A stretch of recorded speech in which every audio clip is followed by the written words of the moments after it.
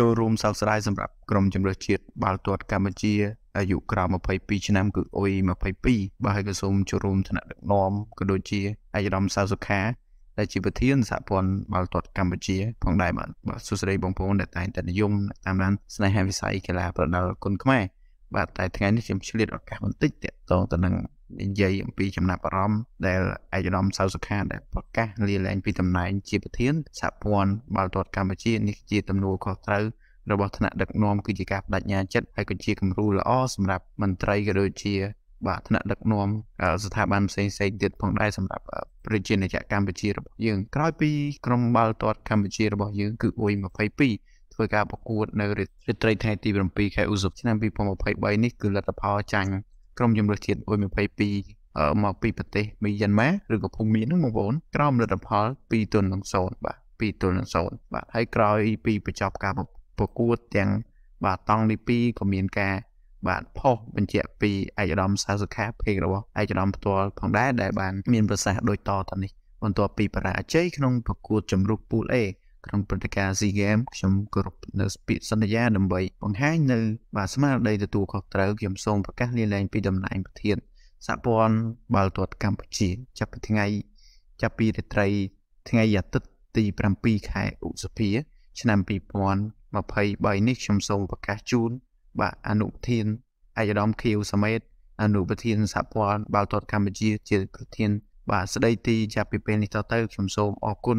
ឯកឧត្តមរដ្ឋមន្ត្រីក្រសួងអប់រំយុវជននិងកីឡានិងបងប្អូនដែលបានចេញមតិគ្រប់គ្រងខ្ញុំឲ្យបន្តតំណែងជាប្រធានសហព័ន្ធបាល់ទាត់កម្ពុជាព្រមទាំងសូមអភ័យទោសដែលរូបខ្ញុំបាទពុំអាចនាំកិត្តិយសជូនជាតិតាមរយៈការប្រកួតបាល់ទាត់ក្នុងព្រឹត្តិការណ៍ដែលកម្ពុជាធ្វើជាម្ចាស់ផ្ទះខ្ញុំសូមអរគុណដល់អនុប្រធានសមាជិកគណៈកម្មការប្រតិភូ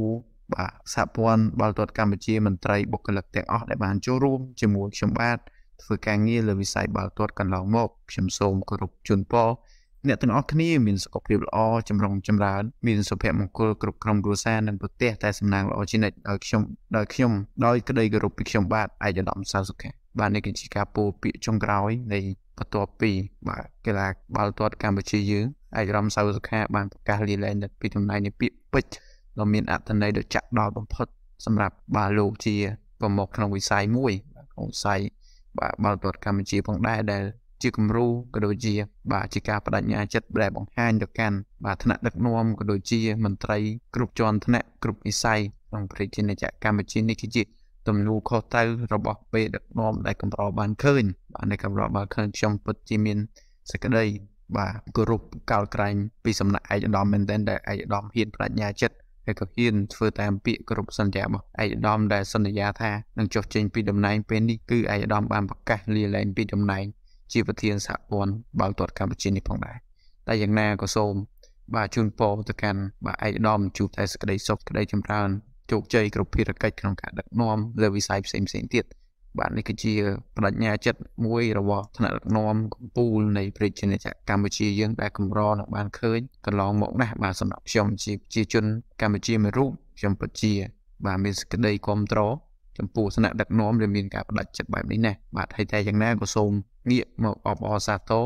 ទៅកាន់បាទបាល់ទាត់អធិស្ឋានបងប្អូនបាល់ទះកម្ពុជារបស់យើងផងដែរ ដែលក្រុមជម្រើសជាតិរបស់យើងដែលអាចដែលអាចបន្តដំណើរទៅកាន់វគ្គបាទផ្ដាច់ព្រាត់ដើម្បីទៅដើមយកមេដាយមាសបាទនេះគឺជាប្រវត្តិសាស្ត្រថ្មីមួយដែលយើងបានដឹងថាកន្លងមកបាទសម្រាប់ SEA Games ឆ្នាំ2022នោះដែលកម្ពុជាអាចធ្វើបានល្អបំផុតហើយដែលជាប្រវត្តិសាស្ត្រដែលអាចដណ្ដើមមេដាយបាទសម្រិទ្ធជូនជាតិគឺចំណាត់ថ្នាក់លេខ3ដែលវគ្គ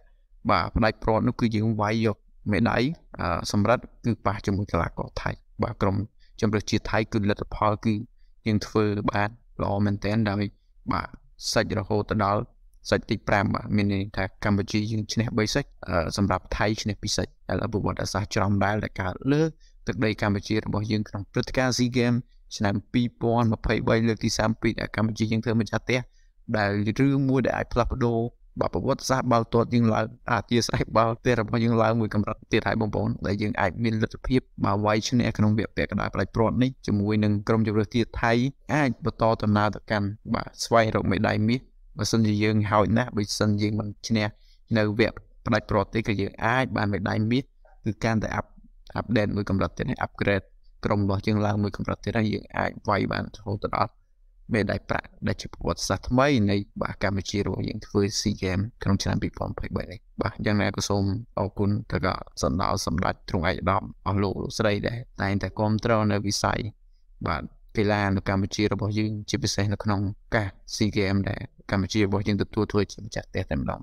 សូមគោរពបាទអរគុណក៏ដូចជាជូនពរដល់អង្គញាត្រង់ឯកឧត្តមលោកជំទាវជួបតែសេចក្តីសុខសេចក្តីចម្រើនទទួលទានមិនបានសុខភាពល្អគ្រប់ក្រុមសុខសាន្ត សូមអរគុណសូមជម្រាបលា